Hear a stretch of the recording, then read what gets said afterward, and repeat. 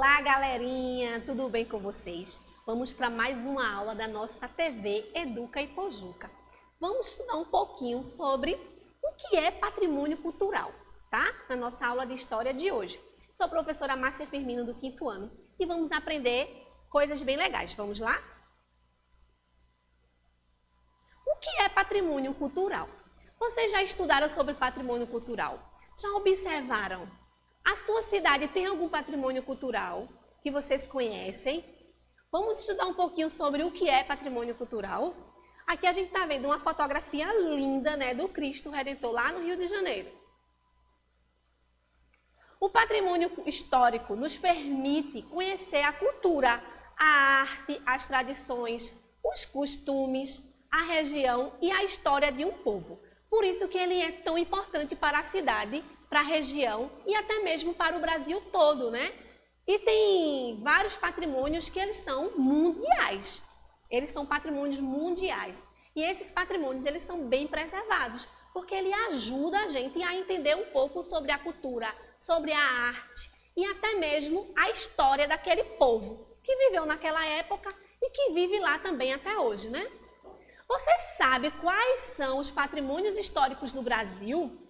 Quais são as instituições responsáveis por essa preservação? Vocês conhecem as discussões que tratam da preservação do patrimônio histórico do Brasil? Vocês sabiam que existe patrimônios mundiais, patrimônios do Brasil, patrimônios da cidade, tá? E Pojuca também tem seus patrimônios culturais, que depois a gente vai estudar na próxima aula. Patrimônios históricos. Esses patrimônios históricos, ele pode ser defini é, definido como um bem material, um bem natural ou até mesmo imóveis, que possuem significados e importâncias artísticas, cultural, religiosas, documental ou também estética para a sociedade. Às vezes é uma obra de arte tão bonita esteticamente que ela passa a ser um patrimônio cultural.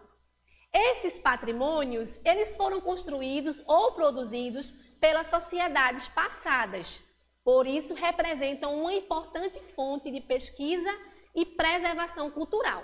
Geralmente, são igrejas, estátuas, é, casarões. Existem também várias ruas é, completas com aquelas casas igualzinha.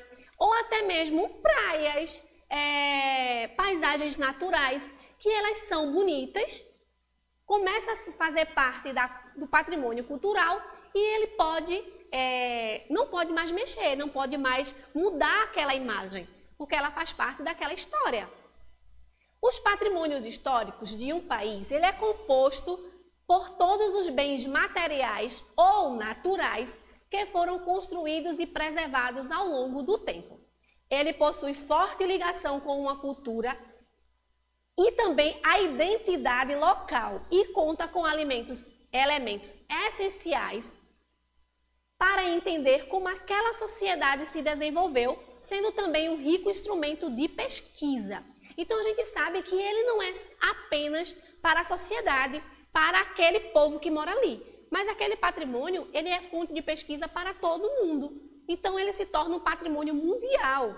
Aqui a gente está vendo o Marco Zero do Recife, aqui a gente está vendo é, um patrimônio cultural do Recife. Muito bonito, por sinal, né? Aqui a gente está vendo uma bela igreja, muito linda, lá na cidade de Ouro Preto, em Minas Gerais. Ele foi patrimônio histórico do Brasil e foi reconhecido desde o ano 1980. Então, ele não é só patrimônio cultural de Minas Gerais, ele foi reconhecido como patrimônio do Brasil. Então, é uma igreja muito bonita. Então, ela tem que ser preservada do jeito que ela foi construída, né? E a Unesco? Vocês já ouviram falar na Unesco? É, vocês sabem qual é a função da Unesco? Para que ela serve? O que ela faz? Vamos ver.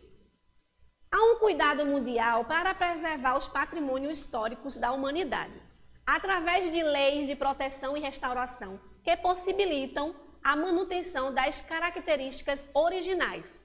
A Unesco, que é uma organização das Nações Unidas para a Cultura, Ciência e Educação, é o órgão responsável pela definição de regras e proteção do patrimônio histórico e cultural da humanidade. Então essa UNESCO, ela organiza como deve ficar, como deve ser, se vai ter uma restauração ou se vai ter uma reforma. A Unesco ela tem que ser informada para ela ver como é que vai ficar, quem vai fazer, porque precisa estar igual como a original. Então todas as regras, todas é, as proteções do patrimônio histórico, ele, quem é responsável é a Unesco.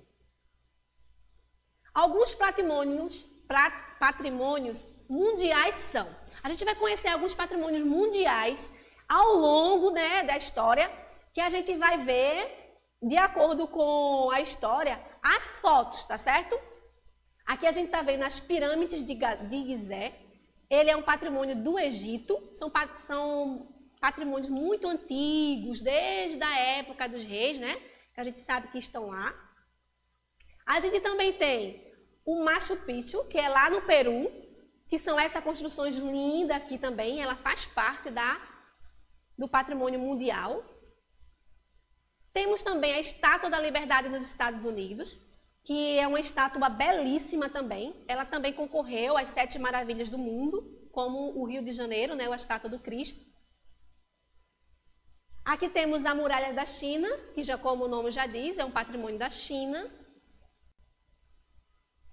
O Coliseu de Roma, que é um patrimônio da Itália. O Palácio de Versalhes, que é o patrimônio da França. Aqui eu escolhi uma foto por dentro, porque ele é todo de ouro, mas por fora ele é um castelo, né? A Torre Eiffel, que é o patrimônio da França, muito conhecida. E o nosso desafio de hoje, eu quero que vocês tenham prestado atenção na nossa aula. Conseguir identificar o que são os patrimônios culturais, os patrimônios históricos, a importância que ele tem, quem cuida. Então a gente estudou um pouquinho sobre isso. E no nosso desafio de hoje, eu quero que vocês prestem atenção para responder. E você, qual é o patrimônio mundial que você gostou de conhecer? E todos esses que a gente viu, qual você mais gostou? Faça uma pesquisa, aprofunda seus conhecimentos sobre essa curiosidade e anota tudo no caderno. O que você mais gostou de conhecer hoje? Qual foi o patrimônio? Foi a Torre Eiffel? Foi a Estátua da Liberdade? O que foi que você mais gostou? Aprofunda, faz uma pesquisa sobre aquele monumento, onde eles estão e qual a cidade, qual foi o ano que construiu, de que foi feito. Faz uma pesquisa bem legal, anota tudo no caderno que na próxima aula a gente vai estudar bastante coisa sobre esse assunto, tá certo? Um beijo grande para vocês e até a próxima aula.